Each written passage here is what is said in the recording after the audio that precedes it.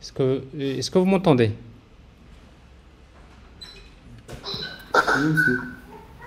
Oui, monsieur. Bah, l'écran est bien partagé. Ok.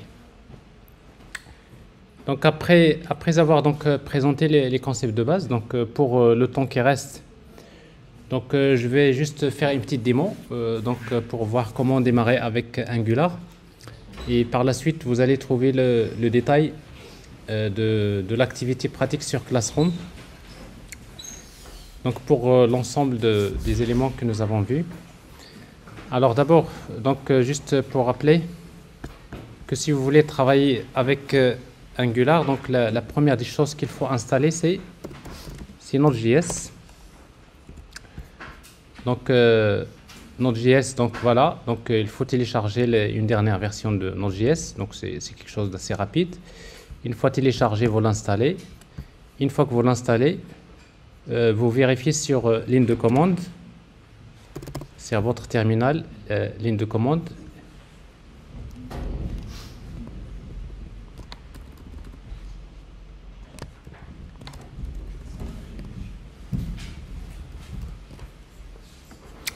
Normalement, une fois que vous installez Node.js, si vous tapez la commande npm,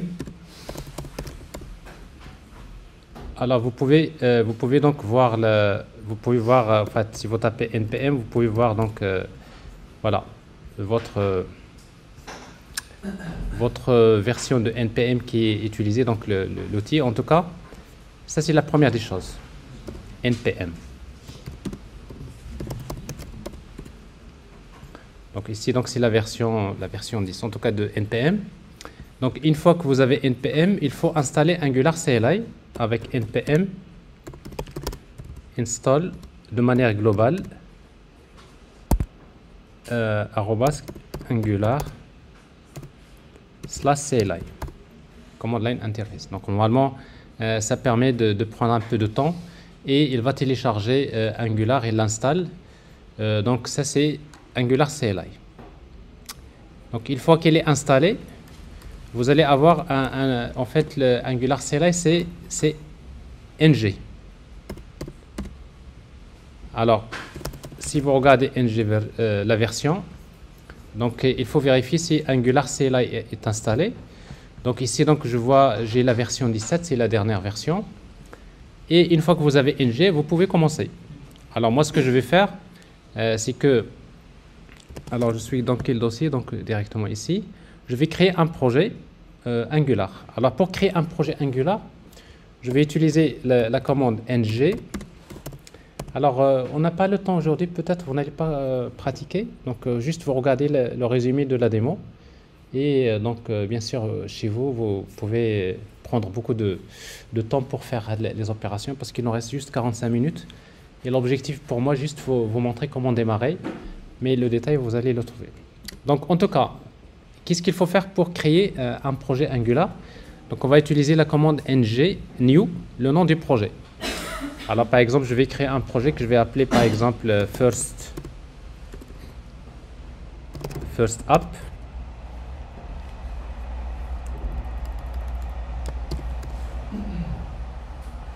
First app.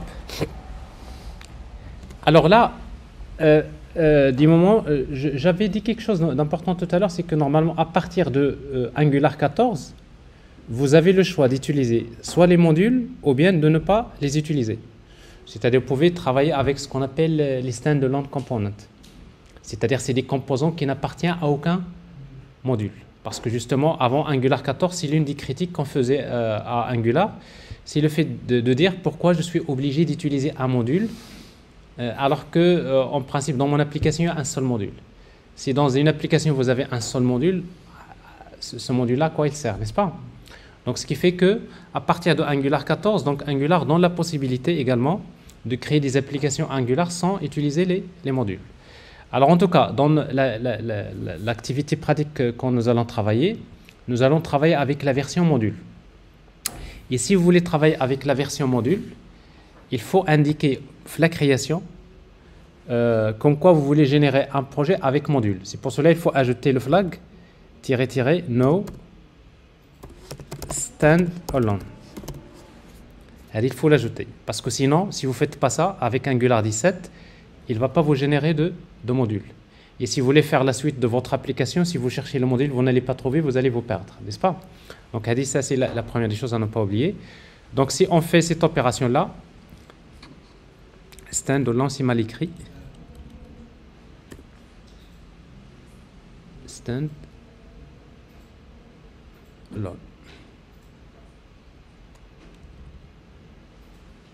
Voilà.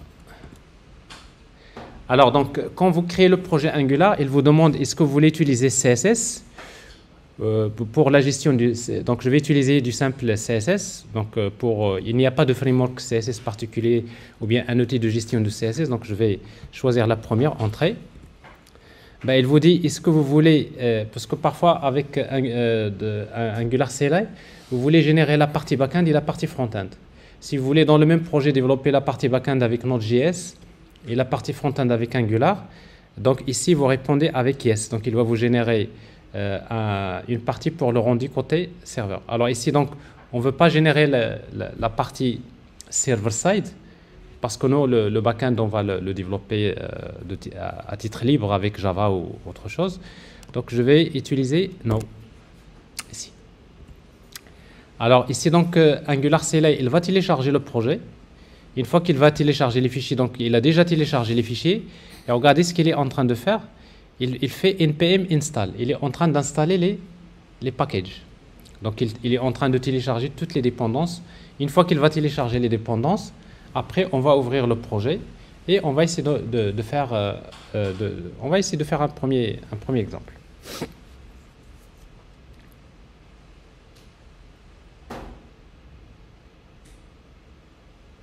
Voilà. Donc il a installé les dépendances. Ça veut dire que euh, vous avez un dossier qui s'appelle First App que vous allez trouver. Et si vous voulez tester ce projet-là, la, la commande qu'on va taper, c'est ng serve. Alors ng serve, donc vous voyez, donc il fait un build, il construit. Bon, il vous dit juste est-ce que vous voulez, euh, voilà, euh, fournir à Google des, informations. Yes, bon, pas de problème. Donc ici, qu'est-ce qu'il fait? Il fait build. Une fois qu'il va construire, ben, tout simplement, regardez, il a déjà démarré. L'opération, il est tellement rapide. C'est-à-dire, il a fait tout ce qu'il faut, il a fait le build, il construit, il a démarré un serveur sur le port 4200. Alors, donc, si vous voulez tester, si vous tapez euh, localhost 4200, vous allez voir, il y a quelque chose qui s'affiche. Donc là, l'application Angular, vous avez une... Donc ça, c'est le démarrage. Donc c'est dit, vous voyez, donc j'ai créé le projet, je l'ai testé, ça a démarré. C'est clair? Alors maintenant, on va éditer ce projet-là. On va arrêter. Donc je vais arrêter ce serveur avec CTRL-C. Je l'arrête. Et je vais euh, lancer un IDE, Visual Studio Code, ou bien dans notre cas, on va utiliser IntelliJ. Et avec IntelliJ, on va ouvrir notre projet. File, Open. Alors ici, donc, euh, le projet s'appelle First App, le dossier, Open. Euh, voilà, euh, faire confiance. Et j'ai ici le, projet.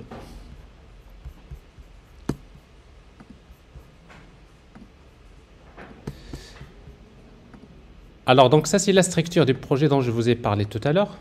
Vous voyez, donc ça, c'est les, éléments de, du projet. Et maintenant, euh, ce que, pour tester directement sur sur Angular, donc sur euh, ici le terminal, bah, le terminal, vous pouvez utiliser ng serve. Et vous testez à nouveau. Donc, il est démarré. Alors, ce que je vais faire, c'est que je vais afficher ça, cette fenêtre-là. Je vais l'afficher directement alors, cette fenêtre-là, je vais l'afficher à côté de celle-là, comme ça. Comme ça, on va avoir quelque chose comme ça. Voilà. Donc ici, c'est le code, et là, c'est notre application. Alors, vous voyez donc, je rappelle qu'une fois qu'une application Angular s'affiche, le, fichier qui s'affiche, c'est index.html, index donc c'est le fichier que je vous ai montré. Index.html euh, fait appeler le fichier min.ts, main.ts, qu'est-ce qu'il fait? Il démarre un, module qui s'appelle app module. Et app module, c'est ce fichier-là, dans lequel euh, vous avez la déclaration du composant, on importe les modules, il y a les services et euh, Bootstrap Component. Donc ça, tout ça, ce que j'ai expliqué tout à l'heure, c'est le composant de démarrage. Et puis, donc, il y a euh, App Component. Donc, vous voyez, donc, App Component, donc, il y a la partie HTML, ici. Il y a la partie euh, TypeScript. Ici, pour le moment, il n'y a, qu'une seule variable. Et après, il y a la partie CSS, il n'y a rien. Et le fichier .speak.ts. Donc, ça, c'est pour les tests unitaires. Mais ici, ce fichier-là, on va, pour le moment, l'oublier. Ce n'est pas le moment. Alors, maintenant, ce, ce qu'on va faire, c'est que... Alors, dans ce fichier-là, CSS, dans la, partie, par exemple, appcomponent.html, ben, je vais mettre, euh, voilà, par exemple, euh, hello. Alors, si vous faites CTRL S, vous, remarquez que c'est réactif. Donc, je vois ici, donc mon application maintenant, c'est ce qu'elle affiche. Alors, ce que je vais faire maintenant, je vais créer une petite application avec deux composants, avec un petit menu. Et donc, ce que je vais faire, c'est que je vais utiliser Bootstrap. Alors maintenant, comment utiliser Bootstrap dans l'application? Alors pour utiliser Bootstrap, donc je vais dans le terminal, je vais ajouter un nouveau terminal. Je vais d'abord installer Bootstrap. Comment installer euh, Bootstrap? C'est npm install Bootstrap. Alors Bootstrap, ça c'est le framework Bootstrap que vous connaissez. Et je vais installer Bootstrap Icon. Bootstrap Icons. Donc ça c'est euh, pour les icônes les icônes que vous mettez dans les boutons, c'est très pratique. Donc je vais installer Bootstrap et Bootstrap Icons. Alors une fois qu'ils sont installés, donc vous voyez donc npm, il va télécharger, il installe. Et si vous cherchez dans le, dossier euh, ici Node Module, vous voyez donc le dossier Node Module, c'est là où toutes les dépendances sont installées. Si vous cherchez, vous allez trouver, euh, Bootstrap qui vient d'être euh, ajouté ici. Et Bootstrap Icons, ils sont là. Alors maintenant, une fois que Bootstrap est installé, comment on l'utilise? Alors pour l'utiliser, il faut le déclarer dans le fichier. Le moyen, c'est de le déclarer dans le fichier angular.json. Donc euh, si vous voulez déclarer euh, plutôt Bootstrap, vous allez vers le fichier. Le moyen le plus simple, c'est d'aller vers le fichier euh, ici Angular, plutôt JSON. Et vous cherchez, vous allez trouver styles. Ici, styles. Et ici, donc, vous voyez déjà par défaut, il y a un, seul fichier qui est déclaré, c'est styles. CSS. C'est-à-dire si, si ce fichier-là, il est là. Styles.css. Donc ça, c'est le fichier style global. Maintenant, je veux ajouter Bootstrap. Je vais mettre euh, ici virgule. Et je vais lui demander d'aller vers le dossier node module. Alors, dans le dossier node module, il y a Bootstrap slash euh, dist css slash bootstrap.min.css. Donc ça c'est le, chemin de Bootstrap. Une fois que vous avez déclaré Bootstrap et que le chemin est bon, ce que je vais faire, je vais arrêter le serveur ici, CTRL C, et je le démarre à nouveau. Alors généralement quand vous démarrez le serveur, si le chemin n'est pas bon, il il va pas démarrer parce que c'est euh, au démarrage qu'il va prendre le, lien, le chemin, et il va l'ajouter, euh, il à index.html. Alors ici, ça démarre sans problème. Maintenant, je vais revenir à appcomponent.html. Alors ce que je vais faire, c'est que je vais créer un, div. La classe, par exemple, padding tree. Et je vais créer euh, ici, par exemple, euh, un, UL dans lequel je vais créer des boutons. Je vais utiliser la classe nav navpills list item. Et je vais créer un bouton. Un bouton home. Vous allez avoir ici bouton home comme ça. Alors ici nav navpills nav navpills et le bouton je vais utiliser la classe btn. btn par exemple outline primary en bleu comme ça. C'est un peu visible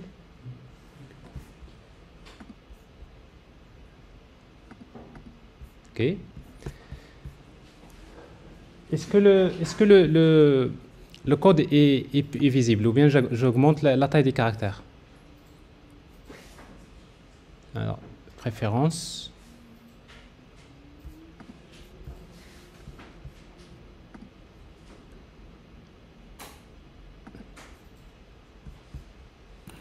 Oui, monsieur, elle est visible. Elle est visible, ouais. Donc, font. Voilà, ici, donc, je vais mettre 22. Appliquer. Voilà. Donc, ici, j'ai le premier bouton. Je vais ajouter un deuxième bouton.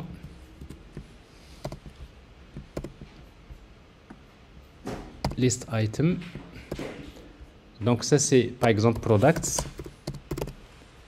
Voilà, ça suffit. Donc, j'ai ici deux boutons et je vais mettre un margin, margin start par exemple, un espace, je vais mettre un espace de 2. Euh, ici margin start, la même chose ici, margin start 2. Voilà. Alors vous avez ici deux boutons.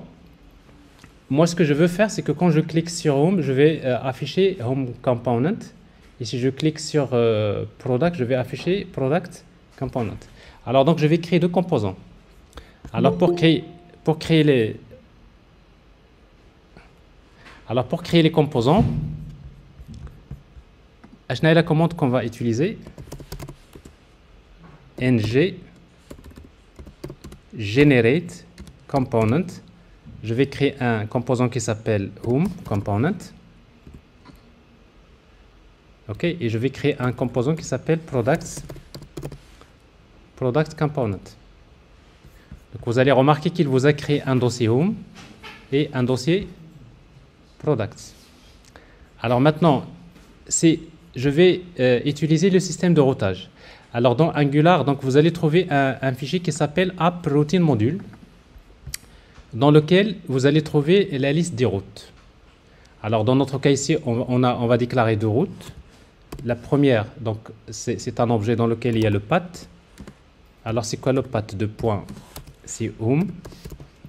Et c'est quoi le, composant associé? C'est home component, virgule. La deuxième route, le path, c'est euh, products. Tu chaîne de caractères.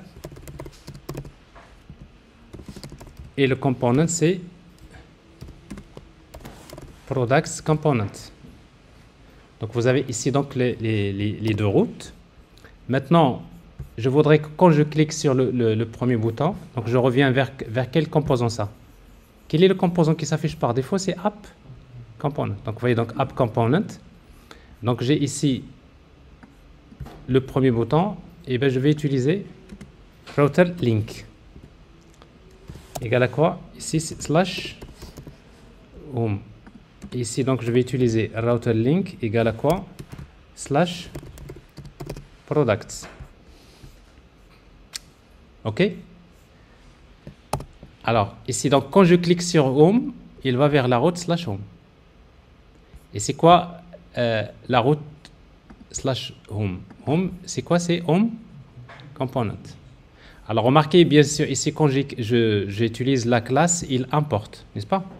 Donc c'est juste, on ne le fait pas manuellement, mais c'est des choses euh, euh, qu'il importe automatiquement, comme euh, dans le cas de Java, c'est le même principe. Alors maintenant, si vous cliquez sur Home, je suis censé normalement voir des composants. Regardez, ici l'URL change. Je vois ici slash Home. Si je clique là, je vois slash Products. Mais je vois rien. Pourquoi?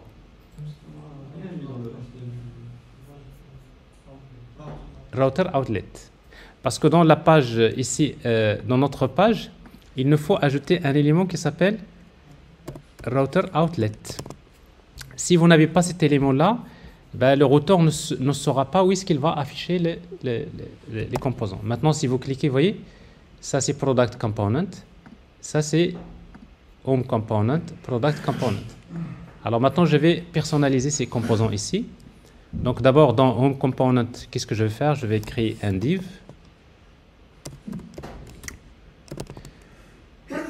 div je vais créer une classe, par exemple, euh, par exemple padding tree. Je vais créer un div avec la classe card, par exemple. Je vais créer un div avec euh, card body. Ici avec le style h3 home component. vous aurez quelque chose comme ça. Alors, je fais la même chose pour product component. Donc, dans product component, donc je prends product HTML. Ici, donc, c'est product component. Vous voyez, donc là, pour le moment, vous avez quelque chose comme ça. Alors maintenant, je vais aller vers product component. Supposons je vais afficher une liste de produits. Qu'est-ce que je dois faire? Je vais vers d'abord la classe du composant product component.ts. Alors dans product component.ts, ce que je vais faire, je vais implémenter l'interface on init. Et quand vous implémentez l'interface en init, il faut redéfinir la méthode ng on init. Et j'ai besoin du constructeur. il y a la structure du composant. Alors maintenant ici, donc, je vais déclarer une liste de, produits. Pour le moment, on va faire quelque chose de statique. Et la prochaine, euh, dans la, prochaine démo que vous allez trouver sur Classroom, on va voir comment interagir avec une REST API, avec euh, une partie backend.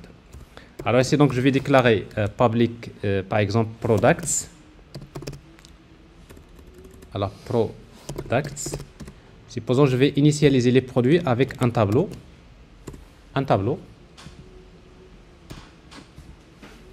Alors, un tableau qui contient quoi? Un tableau qui contient des produits. Et chaque produit pour moi, c'est un objet qui est défini par, par exemple, son, nom, name, par exemple ID, ID 2.1, virgule name 2.computer, par exemple price, price de points 4300. Donc ça c'est le premier produit. Je fais CTRL C, virgule, CTRL V. Bref, j'ai trois produits. Un produit 1, 2, 3, 4. Ici, par exemple, printer. J'ai ici smartphone.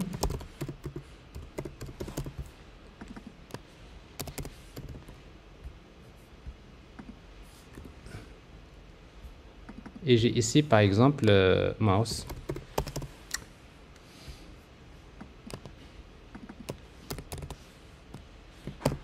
Alors, qu'est-ce que j'ai ici dans mon composant? J'ai ici une liste de, produits, n'est-ce pas? Donc, cette liste de produits-là, ben, il, contient, euh, voilà, il contient une liste de produits pour le moment. Alors, je vais l'afficher ici. Alors, si vous voulez afficher la liste des produits dans le composant, on va l'afficher dans à quel niveau? Dans la partie product.html. Donc, dans la partie product.html, ce que je vais faire, donc je vais créer un table. Avec la classe table. Avec thead un élément tr, th, je vais afficher la colonne id, CTRL V, je vais afficher name. Et je vais afficher price. CTRL S, vous voyez donc j'ai quelque chose comme ça. Alors maintenant, je vais afficher la liste des produits. Alors pour afficher la liste des produits, qu'est-ce que je vais faire? Dans la partie tbody, tbody, je vais utiliser un tr. Et maintenant, je vais faire une boucle. N'est-ce pas? Donc avec Angular, si vous voulez faire une boucle, on va utiliser dans tr ng Rappelez-vous, avec TeamLeaf, on utilise th n'est-ce pas? Donc Angular, c'est ng Donc vous voyez, c'est un, autre moteur de template que vous utilisez, c'est à peu près les mêmes, euh, mais sauf que cette fois-ci, côté client. ng for ici, on va utiliser la syntaxe let pour chaque produit P of products. Donc pour chaque produit P dans la liste des produits directement, je vais afficher TD. Et entre TD et slash TD, donc je vais afficher quoi? P.id.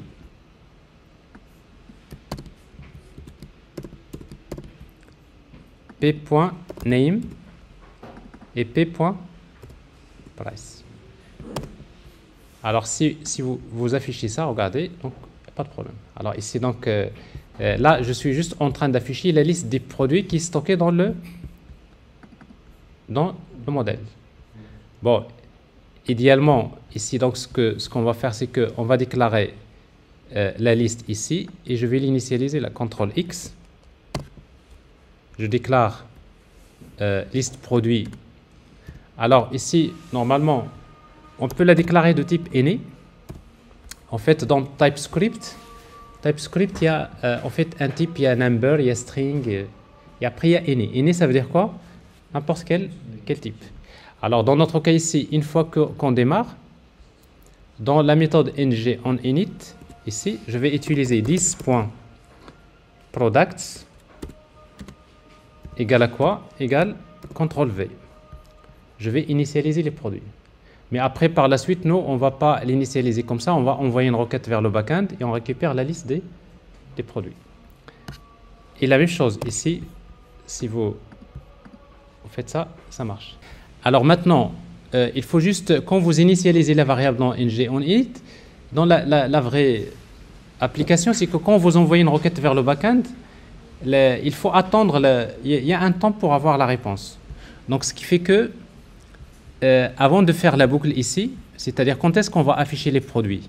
Parce que là, on est en train de faire une boucle sur products. Donc, euh, on a besoin de faire un test. Alors, pour faire le test, on le fait dans, par exemple, ici, body. Je vais utiliser ng if product. Alors, ng if product, ça veut dire si, euh, si product est chargé. Donc, c'est-à-dire, là, je suis sûr que les, produits ont été initialisés c'est à ce moment-là que j'affiche ça. ok? Donc ça, c'est un test euh, qu'on a, qu'on a ajouté. Et si vous n'allez pas voir l'effet, ça va marcher également. Je vais ajouter un bouton qui permet de supprimer. par exemple, ici TD. Alors je vais créer un, bouton. Euh, delete. Classe BTN. btn par exemple danger. Et je voudrais que quand je clique sur ce bouton-là, donc ici, clique, je vais faire appel à une fonction que je vais appeler delete delete product P, le produit P. OK? Delete product. Alors bien sûr, delete, c'est une fonction qu'il faut créer, n'est-ce pas? Et pour la créer, je vais utiliser Alt Entrée. Il me demande de créer la fonction delete. Donc vous voyez donc ici, à l'intérieur du composant, il m'ajoute une fonction delete. Comme ça, on va déclarer une variable, par exemple index. On va chercher la, position du produit dans, la liste en utilisant donc euh, product.index index of p. Donc, head index of, qu'est-ce qu'il index of d'un tableau, qu'est-ce qu'il permet de retourner? C'est l'indice, le, numéro de l'indice de l'élément. D'accord? Et après, on va le supprimer. Et pour le supprimer, donc je vais utiliser this. par exemple, product. Point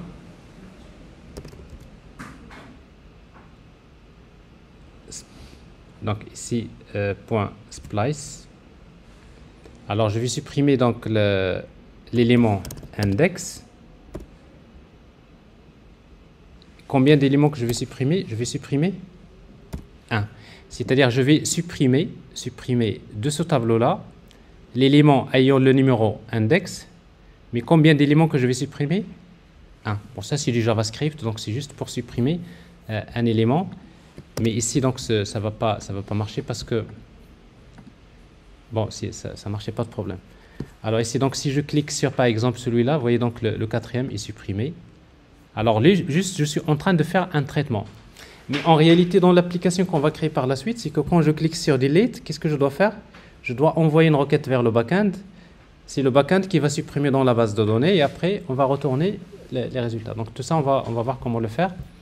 J'actualise et j'ai ici deux actions. Et après, donc, je vais ajouter un, petit bouton pour chercher, par exemple. Euh, on va ajouter un formulaire, comme ça on aura une idée.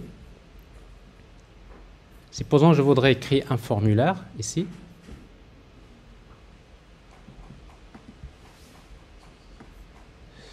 Alors, dans la partie HTML,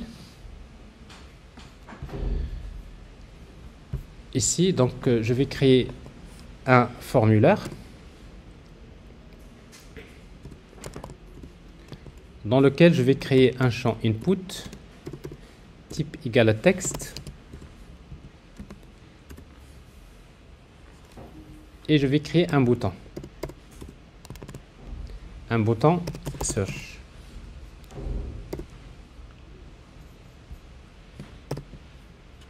vous allez avoir quelque chose comme ça un simple bouton search ici donc je vais utiliser classe euh, btn btn par exemple euh, success outline. Outline success. Alors, je voudrais chercher computer. Alors, maintenant, j'ai besoin de faire du data binding. Je voudrais que, euh, en fait, la, donnée que je vais saisir ici, dans la zone de texte, je voudrais qu'elle soit stockée dans, la classe des composants. Donc, ici, donc, je vais déclarer une variable que je vais appeler keyword de type string. La valeur par défaut, c'est une chaîne, une chaîne vide. OK? Key, Keyword. C'est une chaîne vide. Et ici, qu'est-ce que je vais faire? Eh bien, je vais utiliser maintenant les formulaires. Alors, pour utiliser les formulaires, il faut importer. Dans un premier temps, on va utiliser dans le module, ici dans import, on va importer un module qui s'appelle forms module. En fait, il y a forms module, il y a également, on va le voir la prochaine fois, il y a reactive forms module. Il y a deux façons pour gérer les formulaires, donc ça c'est deux modules qu'on va souvent utiliser. Alors maintenant, si vous utilisez forms module, euh, on va faire la solution de euh, data binding que je vous ai montré tout à l'heure. Alors, qu'est-ce qu'on va faire ici? On va tout simplement utiliser ng, voyez, ng model. À quoi est égal? Égal keyword. Alors, ça veut dire quoi ça? Ça veut dire quoi? Euh, Input type, type égal texte, ng model égale keyword. Ça veut dire que la, donnée que je vais saisir, ce que je vais saisir ici, dans cette zone de texte, tout ce que je vais saisir, automatiquement, il sera stocké dans quelle variable? Keyword. D'ailleurs, si vous voulez voir la variable keyword, voilà ce qu'on va faire ici. Je vais afficher directement. Alors, pour faire du data binding, j'utilise ici key, keyword. Si vous faites ça, regardez. Je vais taper A. Alors, ici, ça s'affiche pas pourquoi. Alors, A. On va pas utiliser ici form. C'est une condition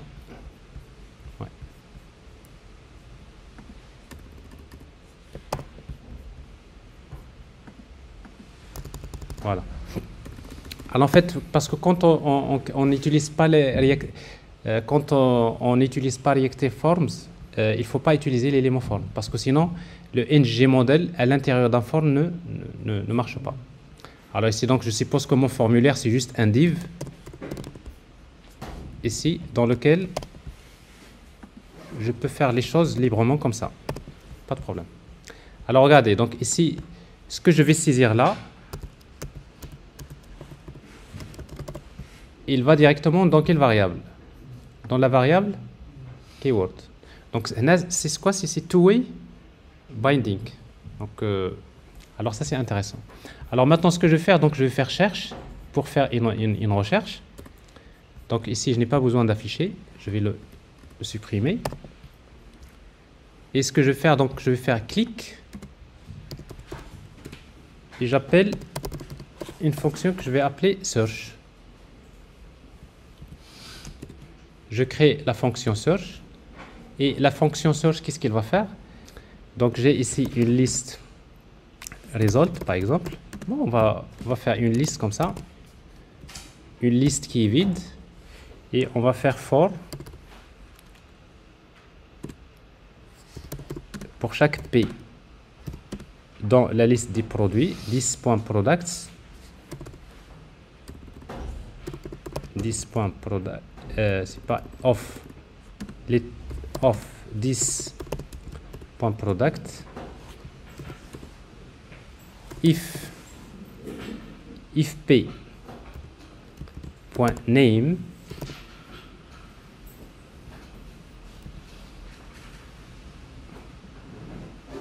Contains this.keyword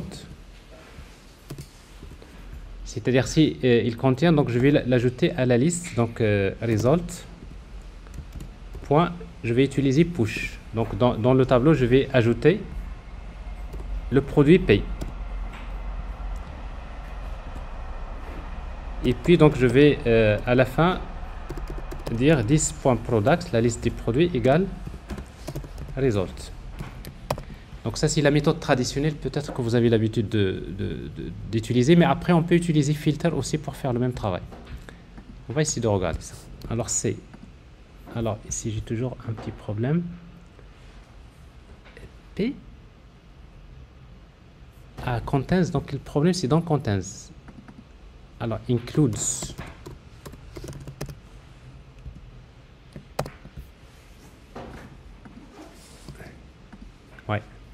Donc euh, je me suis trompé tout à l'heure, c'est en fait c'est include, c'est pas euh, c'est pas contains. Alors je reprends.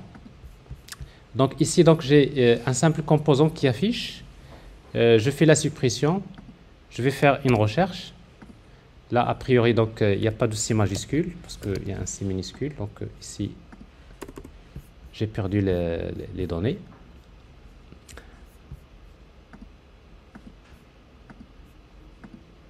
Voilà. Alors C. Et si je reviens à l'exemple de, tout à l'heure, maintenant ça, devrait marcher. Ici, au lieu de content, c'est includes. Alors ça, ça, va donner le, même, le même résultat. C. Oui, ça, ça marche, pas de problème. Alors, en fait, euh, si, en fait l'objectif, ce n'est pas de faire une véritable application, mais pour cette démo de 30 minutes, donc ça vous montre juste le, le point de départ. D'accord Donc je vous invite euh, juste à reproduire ce, petit exemple-là. Bon, après, euh, dans, en fait, dans le, sur Classroom, vous allez trouver une démonstration euh, complète dans laquelle on va couvrir tous les aspects de Angular, y compris un backend avec tous les, les, formulaires, la validation, avec toutes les opérations possibles. Mais ça, c'est quelque chose, mais maintenant le temps ne le permet pas. Donc je pense que euh, je pense que ça peut suffire pour, euh, pour cette petite démo qui vous montre comment faire ça. Alors ici, donc juste il y a un petit détail. Peut-être ici, quand je clique sur euh, Home ou bien Product, vous voyez donc normalement, il faut, il faut, il faut marquer le bouton qui est sélectionné. Alors pour cela, comment on va le faire? Ça se passe à ce niveau-là, ben, comment on va le faire? Il va tout simplement, quand je clique sur le bouton,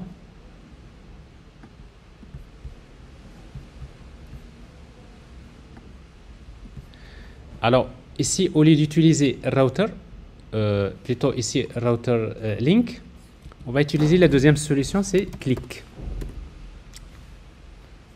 Alors click, par exemple, je vais lui dire par exemple euh, go to.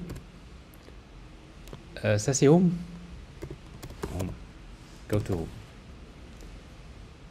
Et là, dans clic, je vais lui demander d'aller vers go to products. Alors je vais créer home et je vais également créer products.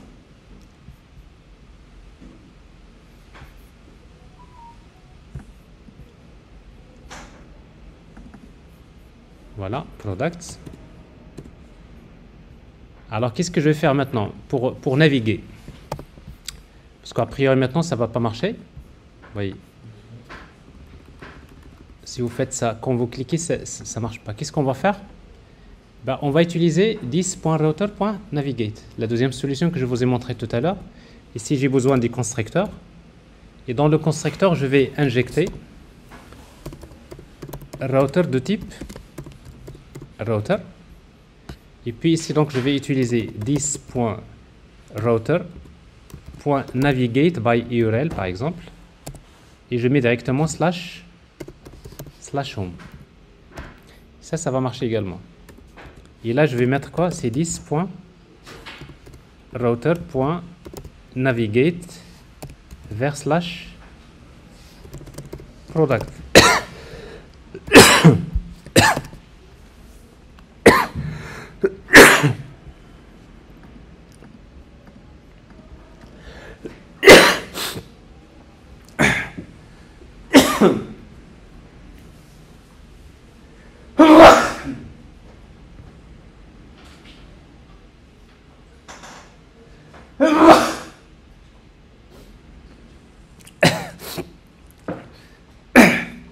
Ça y est, les batteries commencent à se, se vider. Donc, euh, vous voyez la, différence entre les deux? Donc, la première, c'est Router Link. Donc, la deuxième, c'est d'utiliser 10.router.navigate. Mais ici, ce que je vais faire, donc, je vais créer une variable que je vais appeler current. Alors, current, par exemple, route.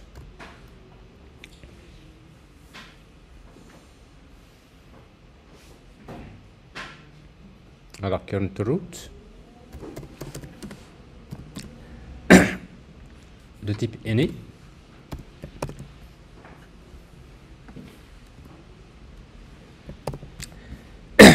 Alors, qu'est-ce que je vais faire Quand je, clique sur Home, donc je vais dire this.currentRoute égale, égale par exemple, égale Home. Et là, je vais initialiser this.currentRoute égale égale products. Alors pourquoi je fais ça? C'est juste parce que dans les, NF, le, bouton, les classes CSS, alors ici donc je vais utiliser des classes CSS différentes. Au lieu de faire ça, je vais utiliser un attribut qui s'appelle ngClass. Donc, je n'ai ngClass. ngClass, c'est selon une condition. If, par exemple, current.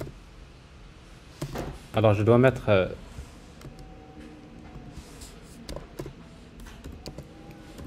alors, ng class if current root. Alors, ng class égale. Euh, je pense. C'est pas comme ça. Alors pourquoi je n'ai pas current, current root Monsieur, c'est pas ici. Ah, ah c'est pas ici. C'est pas ici, oui, merci. Merci. Tu es attentif. Donc c'est dans euh, c'est app component.html. C'est pas ici. Donc c'est à ce niveau-là. Donc qu'est-ce que je vais faire? Donc au lieu d'utiliser class, je vais utiliser ng class. ng class alors dans une class, je vais dire if current root égale à quoi? Égale à home. Point d'interrogation. Je vais appliquer les classes. Je les classes CSS, sinon j'applique d'autres classes CSS. Alors s'il est égal à home, donc je vais utiliser cette classe-là cette fois-ci, je ne vais pas utiliser outline. Ben, je vais utiliser par exemple euh, en rouge, pour juste pour voir danger. Sinon, je vais utiliser donc euh, outline primary.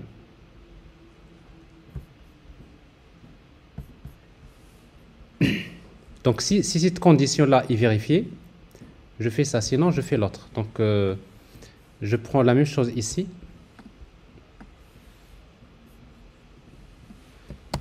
Alors maintenant, l'attribut classe, je vais le supprimer. La même chose ici, l'attribut classe, je le supprime.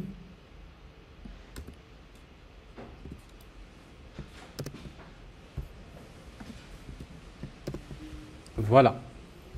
Donc, cette fois-ci, c'est égal à quoi? Product. Donc, c'est-à-dire que, bon, c'est pour cela que si je clique là-dessus, par exemple, regardez, donc c'est parce que, à quoi est égal current route C'est c'est pour cela on le voit en rouge. Vous voyez? C'est un peu manuel, mais après on va voir comment faire ça de manière encore euh, plus, plus, plus simple. Voilà.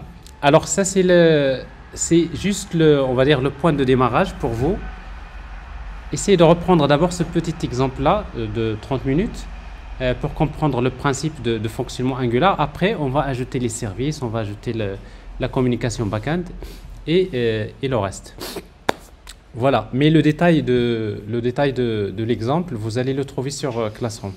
Donc il y, a, tellement, y a, on va le faire l'activité, on va le faire en trois étapes. Euh, vous allez prendre assez de temps pour comprendre d'abord comment, euh, comment, euh, comment fonctionne Angular. Alors, est-ce qu'il y, a une question Oui, tu avais une question avant, avant de la poser, c'est ça? Oui, oui. je ne sais pas si on verra ça dans les prochaines TP, mais il s'agit de pouvoir partager un composant avec plusieurs éléments. Oui, oui, oui. Oui. Euh, j'ai par exemple un formulaire, je développe une application où je, je, renseigne des tables de paramétrage et je veux pouvoir euh, utiliser euh, un formulaire que j'ai créé pour, pour, créer le paramètre d'une table. Je veux pouvoir utiliser ça sur, autre, une autre page en fait. Oui. oui, oui. Je vais vous montrer. C'est le principe, c'est juste avec avec les services, avec euh, la communication entre les composants. Alors tout ça, on va le, détailler dans la démo. D'ailleurs, si euh, vous allez, d'ailleurs, je vais le faire tout de suite. Alors, vous allez trouver sur, euh, sur Classroom. Alors, ici. Alors, sur Classroom, vous allez trouver tout le, toute la démo.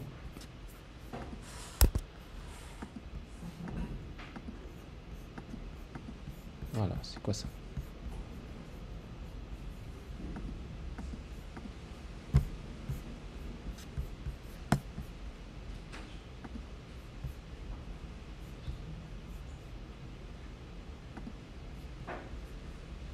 Alors, Classroom. Donc, je vais, vous laisser ce cours-là. Voilà, vous allez trouver le, le support. Voilà, ça c'est les fondamentaux de Angular, c'est ce que j'ai expliqué tout à l'heure. Et après l'activité pratique, euh, vous allez trouver trois, il y a la partie 1, la partie 2, la partie 3, la partie 4. Et ça, c'est cet exemple-là sur lequel vous allez euh, travailler dans les prochaines activités pratiques. Donc ça couvre euh, tous les aspects dont vous aurez besoin avant qu'on puisse travailler sur un projet, notamment un projet réel. Donc, euh, pour répondre à ta question, ça, on va, le, on va le traiter. Mais pas pour tout de suite, parce que maintenant, on a déjà débordé. D'accord, merci, monsieur.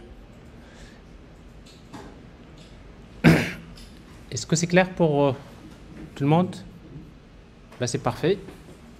Voilà, je vous souhaite une très bonne journée, agréable journée.